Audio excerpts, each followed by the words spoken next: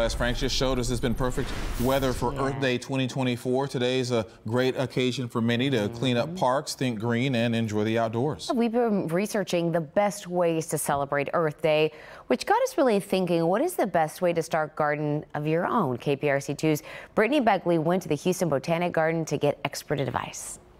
To garden or not to garden? It's a real question folks are asking themselves this Earth Day. I'm not a gardener, but I would like to be better at it. So we asked Brent Moon with Houston Botanic Garden for some help. What is this? This is an apple tree, It's one called Golden Dorsett. Good for Houston? It is very good for Houston because it has low chilling hour requirement. I love that. But I have a question for you with Earth mm -hmm. Day. It's all about the compost. I want to know what foods we should and shouldn't be doing when it comes to soil. If you're using compost or you have a compost program, one of the things you want to do is make sure you use the right kind of ingredients for your compost pile. You want to use things like leafy greens, vegetative matter, things that break down easily, and you want to avoid things like meat, fatty foods, anything with butter, grease, anything like that in it. Definitely not good for your compost program. What are the benefits to Mother Nature and us when we grow our own food? Mm -hmm.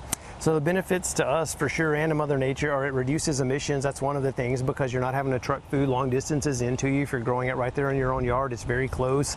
And that's also a benefit because the quicker you consume it from the time you harvest it, the more nutritious the food actually is. And if you're on the fence about gardening, I'll leave you with advice from a little boy named Ethan. It's kind of like if you try, then you'll get it eventually. It's a good reminder that if you try, eventually you will enjoy the fruits of your labor. In Southeast Houston, I'm Brittany Begley, KPRC 2 News.